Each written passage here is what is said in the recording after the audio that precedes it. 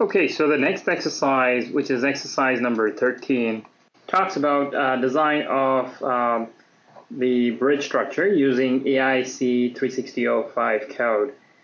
If you have not followed uh, the exercises uh, above, you can actually open up my bridge underscore 6.std uh, file from our data sets that we've provided and uh, just follow the instructions given in this in this manual.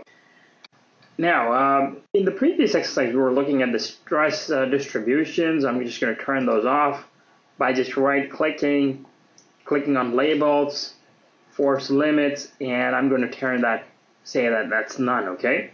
So if you click on OK, the stress you know, distributions are not, not being displayed now. Okay, so we've analyzed the structure. We know we come up with the force distributions. We've seen displacement diagrams, moment, shears, and so on. Now we want to use those to evaluate if, if that those forces are okay as per the AISC 36005 code. Okay. So on the left hand side of your screen, which is the last control tab, I mean uh, the last control tab is the design tab. Okay.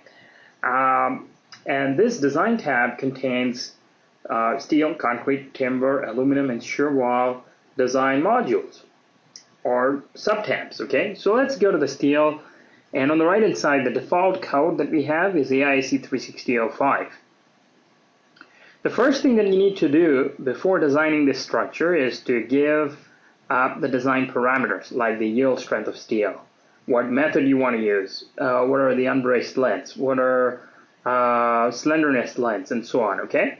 So if you go to define parameters, there's a list of all these design parameters. We've explained those in our technical reference manual. If you want uh, you can learn more about those in that manual. But uh, in this case, I'm just going to go to this design parameter FYLD, uh, which stands for yield strength of steel. So let's say we want to go with 50 KSI steel. So I'm just going to say 7200 is the yield strength of, of steel uh, for in this model. Okay, click on add. Um, if you go to method, let's say we want to use uh, you know LRFD load combinations. Okay, so uh, I mean uh, LRFD code for for the design. Okay, let's say we go with that. Click on add, hit close, and now on the right hand side, what you see, you see code parameter one, code AISC unified, FYLD 7200. Now, uh, step number, uh, sorry, page 102 uh, step number nine tells us to click on the FYLD command and assign it to the whole structure. Okay, we'll just say assign to view, and that's it. Okay, we've assigned the whole uh, FYLD to the whole structure. Now,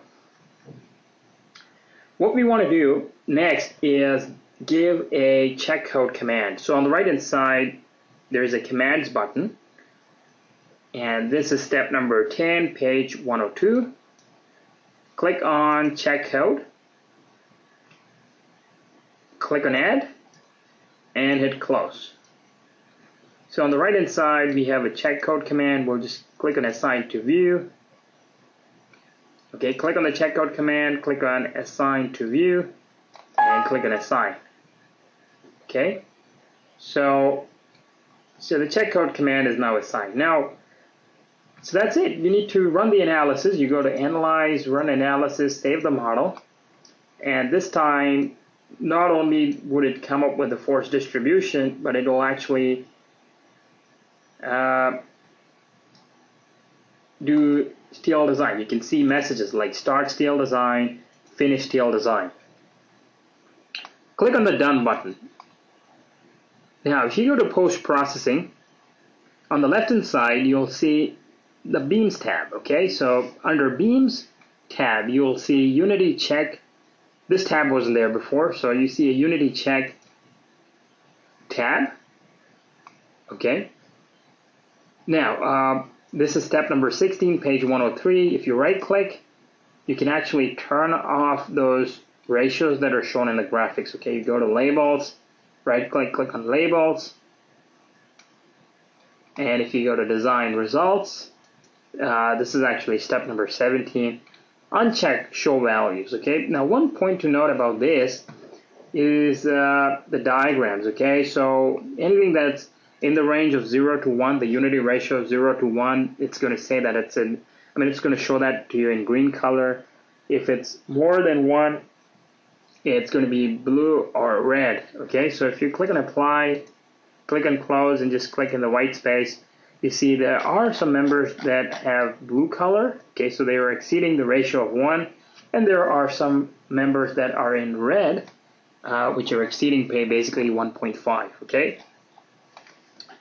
Now, on the right-hand side, uh, we see the results, but you know, if your filtering is on, you won't see a lot of uh, you know member results. You can right-click and go to Results Setup, and make sure in the range, you know, this is set to all. Okay, if you say group, it's just going to say show the results for that group. Okay, so click on OK. Now you see all members. Now, if you go to Failed Members list, it'll actually show you members that are failing there are some members that have design ratios of one or more, okay? So it'll stat will actually also tell you why those members are failing, what clause number, what load combination is making it fail, and so on. Now, um, another thing that the person could do is do connection design um, for a joint. In the manual, we give you uh, a suggested method. You can actually look at the maximum tensile forces in a given member where the connection is going to be and uh, compare that uh, you know to the uh, you know sort of you can do like a bolt shear check uh, if you want okay for, for that joint and we give you the formula for for that and it's on page number 104 of your manual in the next session, uh, we're actually going to be looking at integration of STAAD.Pro and Structural Modeler to present the information or, or the drawings, okay? Um, so let's say we have finalized the structure, although some members are failing, we have to take some action. Uh, let's say we finalize the structure somehow and, and come up with our uh, final design, okay? Uh, then is a good point to export this model to a drawing generation package like uh, structural modeler. Okay, uh, so we'll look at that in more detail in the next session.